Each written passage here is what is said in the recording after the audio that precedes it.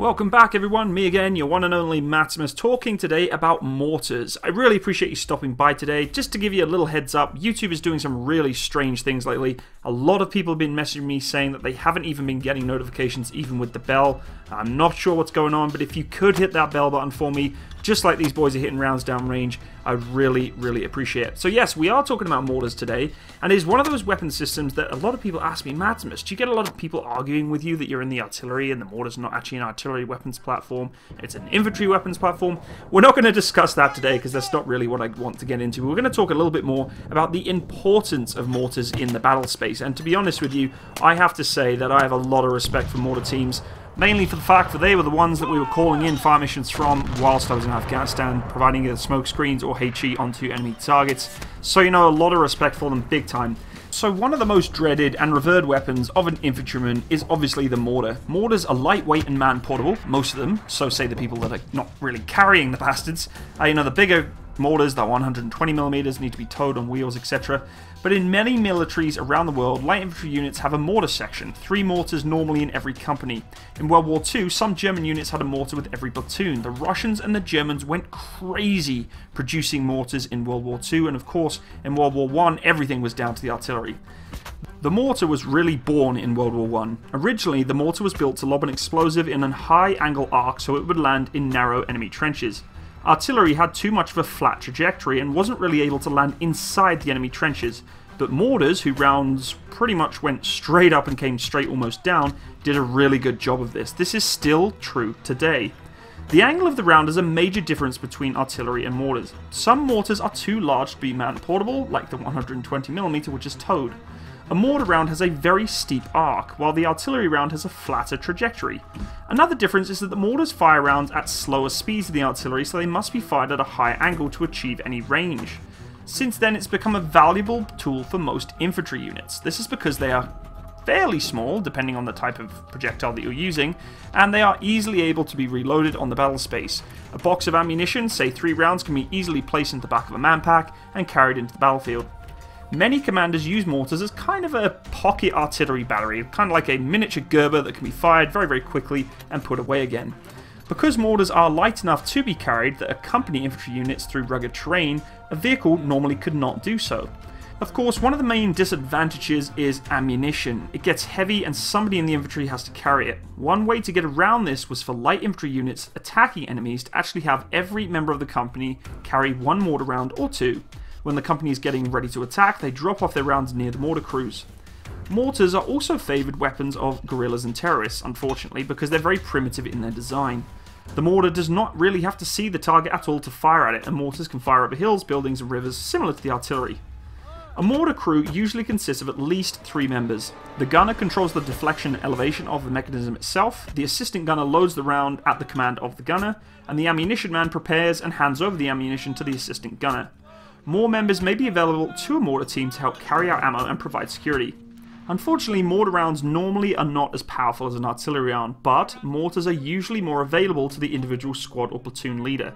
This is why it's vital to have mortars in the combat battle space. They are extremely flexible. Unfortunately, unlike self-propelled guns or howitzers, they can have difficulty trying to get ammunition or the weapon system set up very, very quickly.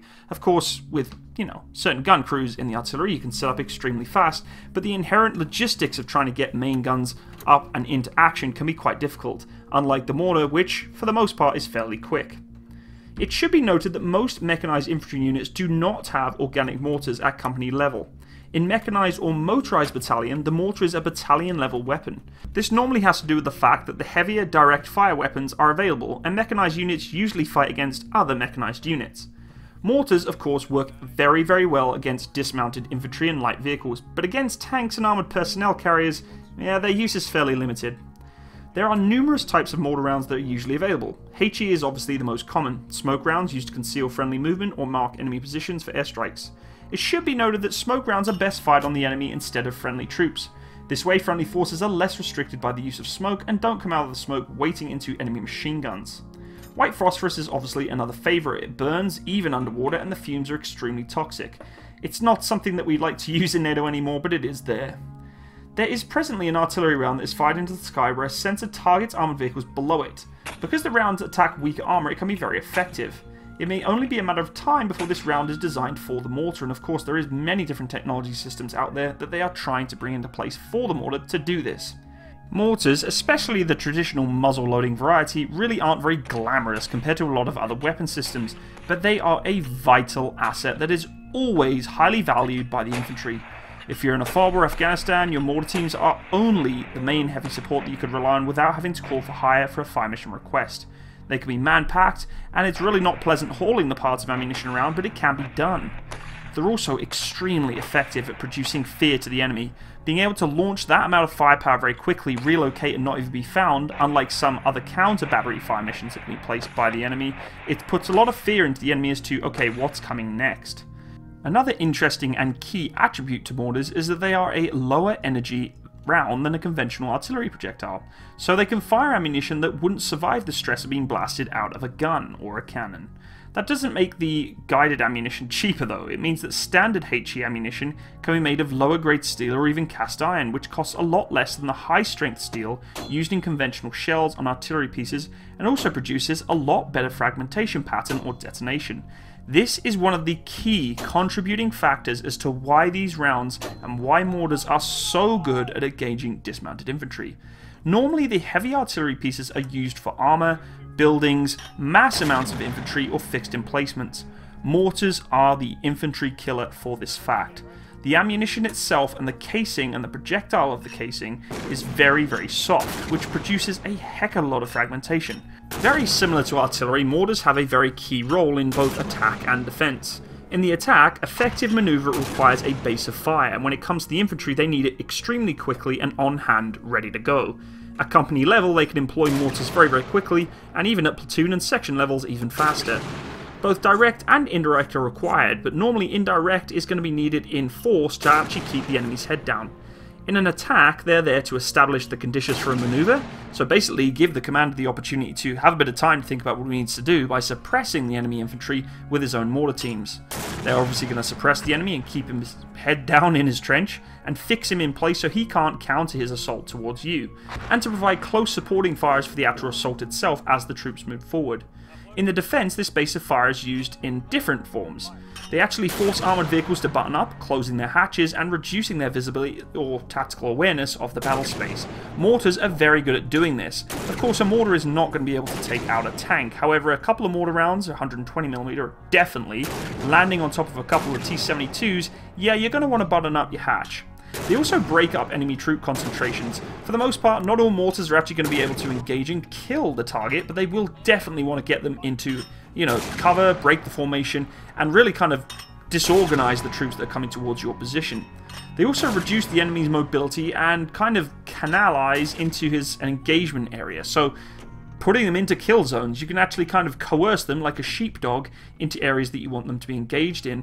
Like I said, mortars not always are going to be the ones that are going to actually kill most of the enemy. The artillery is going to be the ones putting the heavy amount of ammunition down, but they can give a bit of harassing fire to kind of coerce the troops to go in a different location and therefore put them into kind of a kill box. They're going to deny the enemy of the advantage of defilade terrain and force him into areas covered by direct fire weapons. They also break up the enemy combined arms team and destroy the synchronization of the battle group altogether. Like I said, kind of breaking up the troops between infantry and mechanized. Mechanized, if they're getting mortared, they'll close hatch down, not a big deal, hold in position and kind of advance as they go. Infantry are going to get into a, you know, dug in position, break in some cover, and probably leave the mechanized or armored force to continue pushing forward. This allows troops that are engaging those enemy forces to isolate them and potentially, you know, ambush them, cut them off. Um, really, really handy to have. And finally, in a defensive role, it really does protect the infantry against a close dismounted assault. Mortars, just like direct fire and indirect fire weapons, have the ability to really put in some firepower. The problem with heavy artillery, such as you say, you know, 155mm round, is putting danger close with 155mm round, you're really, really tight towards your troops in the danger zone that can kill them or really, really injure them. With mortars, that danger close is reduced a little bit sometimes, depending on the size of projectile you're using, and therefore those fire missions can be brought in tighter towards your own friendly troops if it came down to it. Of course, not really something you want to be doing is bringing in fire missions close towards your troops in a danger close situation. But with, you know, smaller projectiles, smaller mortars, that area of danger towards your troops can reduce somewhat. Overall, folks, mortars are extremely effective for the battle space, and a lot of people say to me, mortars are redundant, why don't we have all these missiles, and we have, you know, aircraft that can do all this, and, you know, the Apache, and all these helicopters that can see targets from miles away, thermal imaging. There is nothing that will ever replace the mortar as a key attribute to any combat environment. And I am really, really proud to see, um, you know, members of my own unit actually going to do training and training up soldiers who are going to be working with mortars. I have a lot of respect for that. Uh, I wish myself could actually start learning on mortars. I don't think I'm going to have the ability to just with my full-time career, but I would love to try. Um, the guys have told me a lot of stories about mortars, a lot of fun operating them. Uh, so, you know, a really, really good bit of kit. Some of the mortars that are out there, I mean, the Russians go to town when it comes to military hardware, and their mortars that they make are absolutely massive. I mean, they're kicking NATO's butt in terms of mortar projectile size. The 120mm mortar, although extremely effective, is just getting annihilated by some of the Russian equipment out there. It's really, really interesting to see.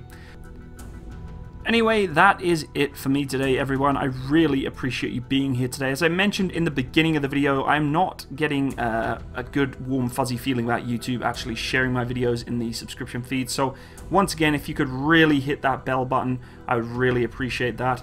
Uh, if you wish to support my channel, please feel free to go check out my Patreon page. It is in the description box below, and anyone who's been supporting or donating towards that site and my channel, I can't thank you enough. Really, really can. It's very much appreciated. Thank you, your Patreon supporters. It really means a lot. Um, if you want to come hang out with me, play some games, or just have a chat, I actually had a discussion with an aspiring junior soldier about to go to Army Foundation College Harrogate uh, today. We had a, literally about a half an hour discussion about his worry and concern about going to, uh, you know, his basic training in the British Army. And we had a really good chat, and I think I kind of eased his nerves a little bit. So if you want to come hang out and talk about things like that, or just message me, or play video games, whatever it may be, hang out on my Discord channel. It is a chat room service. If you don't know what it is, um, go download it, install it, whatever it may be, and come have a chat with me. The link for my server is in that box. So come have a chat. Um, I do also have Facebook, so again, if you want to be notified of upcoming videos that's not being shown on YouTube, you can actually just pop me on Facebook there and I'll uh, add you as a friend and we'll send some videos out to you. Uh, that's it really folks. I hope you have a wonderful day and I'd love to hear your opinion on the mortars. So if you've operated them or about to operate on them, have been supported by them or just have some general information that you want to share, let me know in the comment section below. Have a wonderful day folks. Bye bye.